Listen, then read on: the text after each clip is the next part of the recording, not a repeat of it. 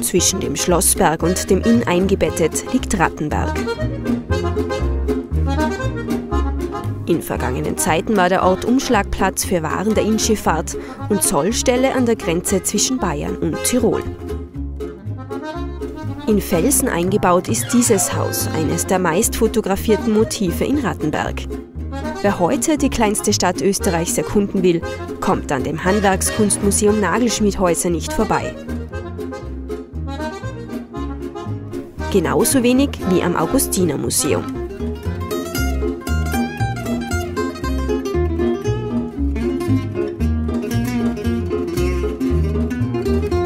Ein Spaziergang durch die engen Gassen beweist, warum Rattenberg auch als Glasstadt bezeichnet wird.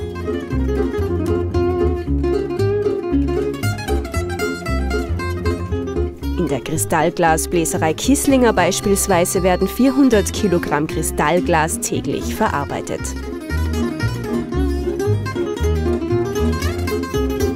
Glas ist einfach ein flüssiges Material, also irgendwie von der Konsistenz zu vergleichen ist mit Honig. Es fühlt sich praktisch irgendwo im flüssigen Bereich, also bei zwischen, zwischen 1200 und 700 Grad ist es flüssig. Da hat der Glasmacher dann die Möglichkeit, äh, das in die gewünschte Form zu bringen.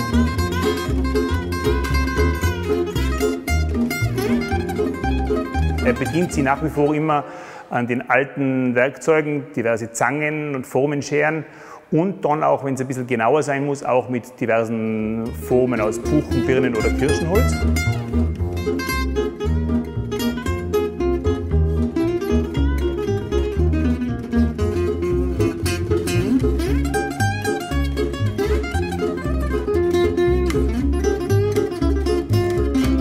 Letztendlich der Start ist dann bei, bei, 700, bei 700 Grad oder 680 Grad und da soll es dann eigentlich fertig sein.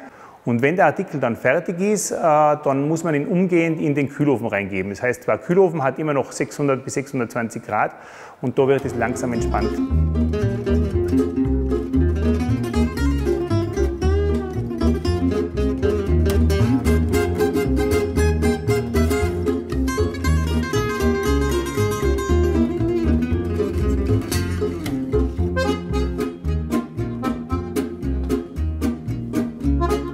Zurück in den mittelalterlichen Gassen entdecken die Besucher auch die Kaffeehaustradition in Rattenberg. Hallo, grüß euch.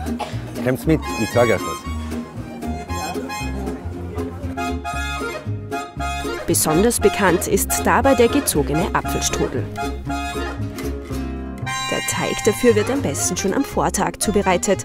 So ist er elastischer, denn letztendlich muss er so dünn sein, dass man darunter lesen kann denn er sollte sich dann beim Backen zwischen den Äpfeln fast auflösen können.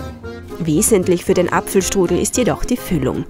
Und die besteht aus gerösteten Hasel- oder Walnüssen, Zimt und Zucker, in Rum gelegten Rosinen, Semmelbröseln und feingeschnittenen sauren Äpfeln.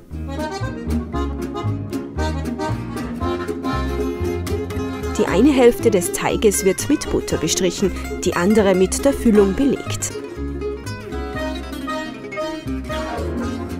Bevor der Strudel in das Backrohr kommt, wird er noch mit Butter bestrichen.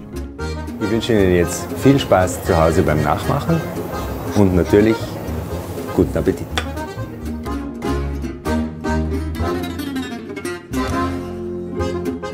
Gestärkt geht der Spaziergang durch Rattenberg weiter.